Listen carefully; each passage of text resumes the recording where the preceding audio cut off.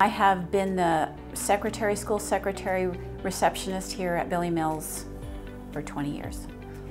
I feel like I've made it a friendly place and uh, a welcoming place for uh, families and students.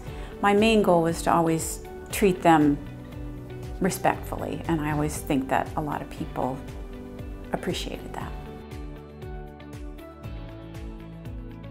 Uh, probably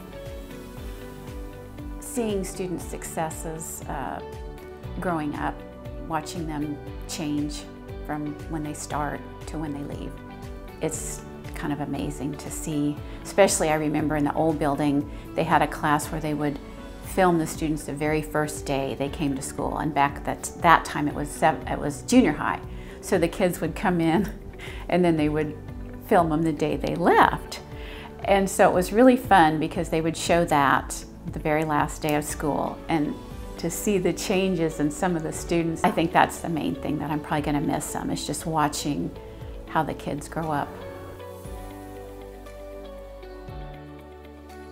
I do have a remote position that I will start June the 6th and I'll be a customer service representative. It's a remote job. So my coworkers will be Ozzy and Gilly, my dogs. Other than that, you know, I just will just have a little bit, I feel like a simpler life, a little bit less coming and going, um, more just basic, and I'm ready for that. When I first started working in the district, I did it basically because I wanted to be a part of my son's lives. And uh, I worked at East Heights when both of them attended there. And then by the grace of God, I got this job here, and they both came through this school as well. Um, so I felt very blessed to be part of their growing up, and I guess I'm just really proud of being that, being able to do that for them.